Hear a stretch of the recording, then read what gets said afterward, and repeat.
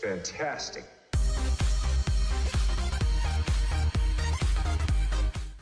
Guten Tag, willkommen zu einer neuen Episode Clash of Clans mit mir, Fred, 17 Uhr. Also wollen wir mal wieder ein paar schöne Minuten verbringen im Spiel und wollen mal gucken, was wir, denn, was, was wir heute machen, ist eigentlich schon, steht eigentlich schon fest. Ich habe nämlich diverse Angriffe, nämlich, ja, ich glaube insgesamt waren es fünf oder sechs, aber ich habe jetzt einfach mal nur die letzten, äh, wir wollen mal gucken, dass wir mal ein paar Angriffe raussuchen mit Lava-Hunden only. Und da werde ich jetzt gleich mal sofort reingehen in Angriff Nummer 1. Ja, ich muss tatsächlich sagen, mit, mit, mit only Lava-Hunde aber gut, Zauber habe ich benutzt. Es ist, es ist schwierig. Ich habe mir extra so eine Base rausgesucht wie diese hier, wo du einfach siehst, die Luftabwehr ist relativ, relativ schwach. Ich konnte jetzt natürlich schon sofort eine Luftabwehr weg... Äh, ein, zwei Luftabwehren konnte ich sofort schon mal wegblitzen. Wir sehen das jetzt hier schon mal. Da brauchte ich nur einen einzigen Blitz. Habe jetzt noch drei Blitze übrig. Habe ich da noch zwei Blitze hingesetzt. Das heißt, guck mal, wie viel da schon weg ist. Natürlich, desto mehr... Die Lavahunde gehen ja nur auf die Def. Sie gehen erst auf die Luftabwehr. Wenn die Luftabwehr down ist, gehen sie auf die andere Verteidigung und dann... Sie sind halt langsam die sind halt mega langsam. Das sehen wir jetzt hier auch gleich. Sie haben sehr viele Trefferpunkte. Und das ist auch ein Problem. Ne, du willst auf der einen Seite willst natürlich, dass die Lavahunde alles wegmachen. Jetzt haben sie unten schon die eine Luftabwehr gleich weg. Auf der anderen Seite müssen sie sich irgendwann ja auch mal teilen, zumindest ein Teil von ihnen, damit sie einfach auch mal ein bisschen sich auf der, auf der Karte verteilen. Wenn sie jetzt alle nur da rumfliegen, es, es dauert, ne? Es dauert, sie brauchen jetzt noch, guck mal, wie viel Def überhaupt jetzt noch da ist. Die Tesla sind ja auch noch da und dann noch die, die Bogi-Türme, noch hier der X, die X-Bögen, die Kanonen, der Minenwerfer. Das dauert einfach, weil sie einfach nicht viel, die, die üben natürlich nicht viel Schaden aus. Sie sind eine Einheit zum Tanken. Dafür sind sie da. Sie sollen die anderen Truppen beschützen, sie sollen den Schaden auf sich nehmen, sie sollen aber selber nicht so viel Schaden machen.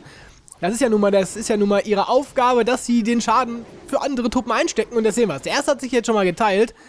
Aber natürlich wenig Schaden, den sie jetzt hier selber kassieren. Ne? Das sieht man jetzt auf jeden Fall. Aber ich finde es mal ganz lustig. Ich habe schon lange nicht mehr gemacht gehabt und dachte mir, wir, wir, es war, ist so aus, aus, so einer, aus einer Langeweile geboren. Kennt ihr das manchmal? Da hat man so Langeweile und denkt sich so, ach komm, dann machen wir mal, dann machen wir mal irgendwie einen Only-Angriff mit irgendwas Verrücktem. Dann nehmen wir mal, da der Lavahund eine meiner Lieblingstruppen ist, dachte ich mir, komm, nimmst du mal den Lavahund. Weil ich immer so lustig finde, dass er sich dann halt aufteilt in so verschiedene Lava-Welpen. Und da sehen wir jetzt auch, ne? Ein paar sind schon unterwegs, ein paar können jetzt schon ungestört was kaputt machen. Aber das ist auch wieder das Problem. Du hast die Lava-Welpen, die Lava-Welpen fliegen dann rum, sie gehen aber natürlich sofort kaputt. Sie halten jetzt gar nichts an Schaden aus. Und jetzt hatte ich dann gehofft auf die Königin. Die Königin ist jetzt hier unten noch am Rumeiern und hatte gehofft, die, die zerschießt jetzt zumindest schon mal einen der Lava-Hunde. Also, die sind aber auch geil, ne? Sie sehen, das war wirklich mal ein gutes Update von Supercell. Muss ich sagen, die, die Lava-Hunde oder der Lava-Hund als Truppe finde ich richtig cool. Das ist eine richtig coole Truppe. Ja, der eine kassiert ja auch jetzt schon. Der eine kassiert ja jetzt auch schon, aber reicht es oder reicht es nicht? Damit er sich noch aufteilt. Oh, guck mal, der kleine Lava-Welpe kümmert sich jetzt noch um die Königin. Das sieht man, so wenig Schaden macht er gar nicht. Wobei man natürlich auch sagen muss, die Königin hat jetzt auch nicht die allermeisten Trefferpunkte. Jetzt ist sie leider kaputt. Und das war noch ganz gut. Aber nur noch leider 34, 35, 33, 32 Sekunden Zeit. Jetzt habe ich schon einige Lava-Pups, aber es reicht nicht mehr. Oh, oben sehen wir jetzt auch noch welche, die kümmern sich oben um den König. 45% reicht es noch für den Stern oder nicht? Ja, es ist, da. Also da, wenn, wenn sie sich mal eher aufteilen würden, das wäre natürlich besser. Jetzt haben sie natürlich noch ein bisschen Zeit. Vielleicht kommen wir noch auf 60%, wenn mit etwas Glück schaffen wir noch 60%, aber ja, gegen so eine Base natürlich, eine relativ schlechte Base. Aber wir haben es noch so gerade geschafft mit 58%, vielleicht auch noch 60%.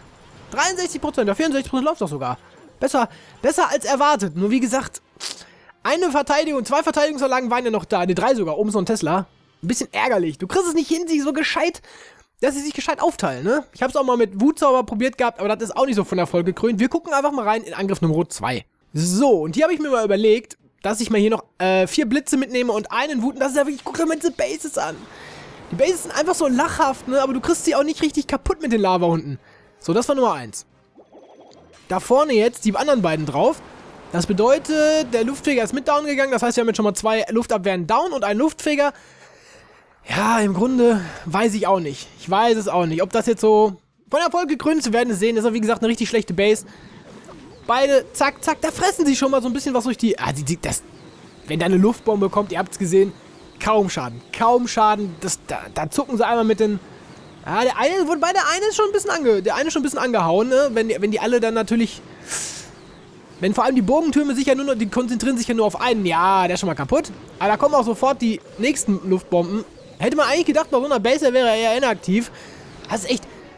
Wird dann so einer, das ist auch wieder eine Frage, wird so einer dann auch auf Rathaus 11 gehen bei dem Update? Geht er, geht auf Rathaus 11? Alter, hat, kriegt er noch schlechteren Loot. Er kriegt ja so schon schlechten Loot, weil er auf Rathaus 10 gerusht ist. Wird er dann auf Rathaus 11 rushen? Ich glaube, viele Leute werden auf Rathaus 11 rushen. Und ich hoffe es auch. Ich hoffe, viele Leute rushen auf Rathaus 11, damit der Loot für mich selber besser ist. Aber das werden wir, liebe Freunde, dann noch sehen. Die Lava-Hunde sind auf jeden Fall noch aktiv und sind jetzt noch dabei, den Magierturm kaputt zu machen. Bam, bam, bam, der ist kaputt. Leider haben wir erst ganz wenige Lava-Puppies. Oben sehe ich noch gar keinen.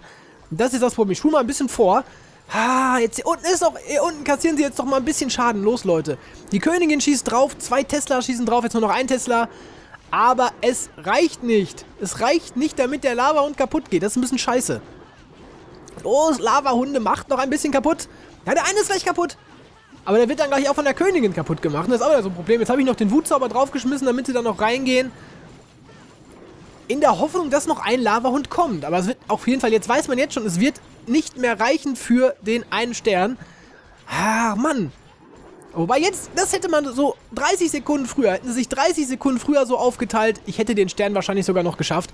Aber so wird es jetzt zu knapp, vor allem, weil jetzt natürlich auch die Lavahunde einfach viel zu wenig Schaden jetzt noch kassieren. Jetzt sind nur noch zwei Sachen übrig, die auf sie schießen können. Unten sind zwar noch ein paar Lavahunde unterwegs, aber es reicht nicht. Wie viel haben wir denn? 1, 2, 3, 4, 5, 6 Lava-Puppies. Ja, also noch 5. Es reicht leider nicht. Es waren nur 41%. Jetzt kümmern sie sich, glaube ich, noch um den Turm. Ja, der Turm ist noch down. Aber leider nur ein, ne, 43%. Ja, immerhin. Immer, es ist, ja, es ist ja, wie gesagt, es sind lustige Angriffe. Von daher kann man damit noch leben. So, jetzt habe ich noch einen. Einen habe ich noch. Einen haben wir noch. Einen haben wir noch. Äh, ja, das ist auch eine... Ja, ich will mal sagen, es ist auch wieder eine Base, wo man sagt... Was ist das? Lukas 69, Cuore Italia, Cuore Italia. Ja, ich habe dann versucht mal das zu blitzen. Hat auch ganz gut funktioniert. Äh, eine Luftabwehr, nee. Waren das zwei schon oder wie viel waren das jetzt? Egal, auf jeden Fall schon mal einiges ganz gut angehauen. Lavahunde drauf. Ich habe die jetzt mal, das war jetzt zum Beispiel mal die Taktik, erstmal so ein bisschen, die Lavahunde mal so ein bisschen zu splitten.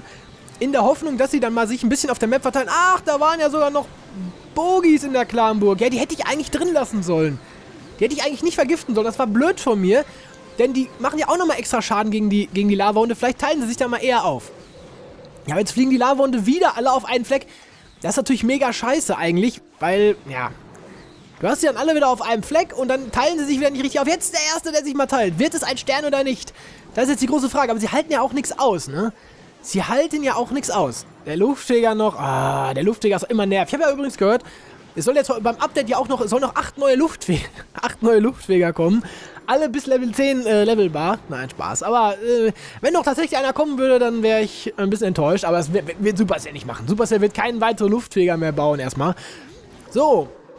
Da oben ist der Magierturm ist gleich kaputt. Aber wir haben immer noch, wie immer, das Problem. Wir haben zu wenig Lava-Welpen.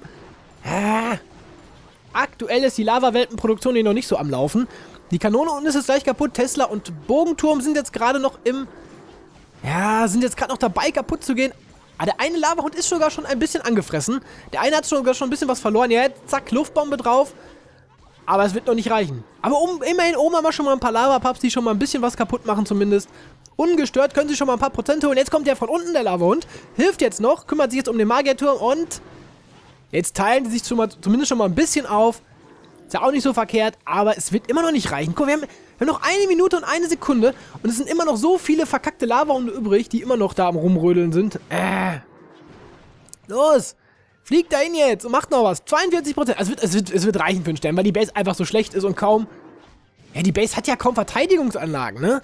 44%. Ich spule mal noch ein bisschen vor, damit wir das jetzt noch mal ein bisschen schneller sehen. Außen, vor allem die Außen machen die Lava, die Lava-Welpen schon mal ein bisschen Terror. Ja, einer noch. Der eine ist noch dabei. Ach komm, teile dich doch noch mal einmal auf wenigstens. Es, es, ist nicht, es ist mir nicht mehr vergönnt. Es ist mir nicht mehr vergönnt. Es ist auch wirklich kaum noch was da, aber es reicht nicht. Nur eine Lava unten noch. Zwei waren noch, zwei waren noch relativ kaputt, aber es reicht nicht mehr. 56%. Und ein Stern für die Lava-Hunde. Ja, da will ich auf jeden Fall noch mal einen normalen Angriff machen. Da habe ich mir gedacht, da bilden wir mal wieder unsere Standardtaktik aus. 91, Barbar äh, 91 Bogenschützen, 72 Barbaren, 13 Riesen und 6 Bogenschützen. Und jetzt bauen wir mal eben noch hier normale Zauber aus. Moment, wo sind sie denn? Na, kein Heil. Heil erst spät. Wobei brauche ich überhaupt Heilzauber? Nein, wir nehmen, lieber, wir nehmen lieber Frost mit. Und gucken dann mal. Ich habe übrigens einen Kessel in der Base. Hier drin ist ein Kessel. Und dieser Kessel hier ist äh, auch neu. Ich muss die jetzt bald mal, auf jeden Fall werde ich jetzt bald mal zwei, drei Stück entfernen. Das werden wir dann aber noch, werde ich aber, glaube ich, im Video machen. Und jetzt suche ich erstmal Gegner raus. Und dann würde ich sagen, sehen wir uns gleich wieder, wenn ich einen Gegner gefunden habe. Bis gleich. Ja, ich, also ich, ich will jetzt ihn hier nicht angreifen. Ich will es einfach nur mal so in den Raum werfen. Für nach dem Update. Also ich werde ja beim Update werde ich aus 11 gehen und dann habe ich persönlich halt die Angst, ich kriege halt nur noch solche Gegner hier und ihr, ihr wisst ja, beim Update wird ja der Loot für Rathaus 6 bis 10 mehr aber dann wird es etwas weniger, wenn du ein Rathaus unter dir angreifst. Ich bin ja dann Rathaus 11 und greife dann auch noch ein Rathaus unter mir an. Und ganz ehrlich, wie soll ich denn mit Farmtruppen, wie soll ich denn mit Farmtruppen so ein Rathaus hier angreifen? Das ist so das, das ist so das, was mir wirklich Probleme bereitet. Deswegen, ja, wollte ich nur mal ganz kurz einwerfen und jetzt suche ich weiter. Ach ja, was wird mir das fehlen? Das Rathaus-Snipern. Ja, es war immer schön. Vor allem, wenn man jetzt überlegt, ja, okay, ah, okay, ich kriege jetzt hier noch ein bisschen was auf den Sack. Deswegen muss ich mal eben da was hinsetzen, damit meine Königin nichts kriegt. Vor allem, du musst nur. Ich habe jetzt zwei Truppen und die Königin gesetzt und hab mal eben 50.000 bekommen. Ah, das wird mir fehlen. Allerdings, ihr wisst es ja, ich habe es ja gestern schon erzählt. Man muss auch immer, man muss sich auch immer neuen Sachen öffnen und wir werden alle sehen, wie es sich entwickeln wird. Ich habe ja meine Meinung gesagt. Wenn das Update natürlich, wenn es natürlich diese neuen Sachen jetzt noch gibt, ne? Also es kommen jetzt noch viel mehr neue Sneak Peeks, neue, vielleicht eine neue Truppe, neue, neuer Held, neue Dev, neues Rathaus und so weiter. Dann werde ich meine Meinung natürlich nochmal äußern dazu, aber das alles zu deiner Zeit. Und jetzt geht die Suche erstmal weiter. So, endlich. Ich hoffe mal, wir werden es hier schaffen, zumindest das ein oder andere Gold- und Elixierlager uns zu schnappen. Je nachdem, ich weiß es nicht genau. Ähm, wenn die Lager in der Mitte sind, habe ich ja immer so ein bisschen, so ein bisschen Probleme, das wisst ihr. Aber ich bin optimistisch. Wir müssen jetzt mal gucken, ob da irgendwo vielleicht schon mal eine... Ja, ob da irgendwas in der Clanburg ist. Ich glaube aber jetzt erstmal nicht. Zack, zack, ich, ich habe ja, hab mir, hab mir jetzt mal gedacht, vielleicht wäre es mal ganz sinnvoll, sie mal ein bisschen weiter aufzusplitten. Ist halt wie gesagt, oh, ist doch was in der Clanburg.